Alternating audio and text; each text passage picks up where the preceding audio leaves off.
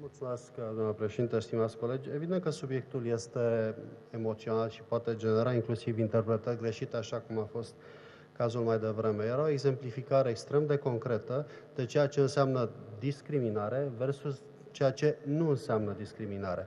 Pentru că protecția tuturor persoanelor, tuturor cetățenilor, indiferent de sex, de gen, de afilieri, de minorități, împotriva violenței și altor uh, manifestări de acest gen, dacă este încălcat uh, acest drept prevăzut de Constituția României, prevăzut de Convenția Europeană, este o discriminare violența împotriva unor persoane pe motiv de apartenență la un grup este o discriminare și ăsta era sensul uh, explicației pe care am, uh, sau mențiunii pe care am făcut-o. Per contrario, faptul că nu există legiferare instituției căsătoriei de tip uh, LGBT în România nu este o discriminare. Legea în vigoare confirmă ce este drept și ce nu este constituit ca drept.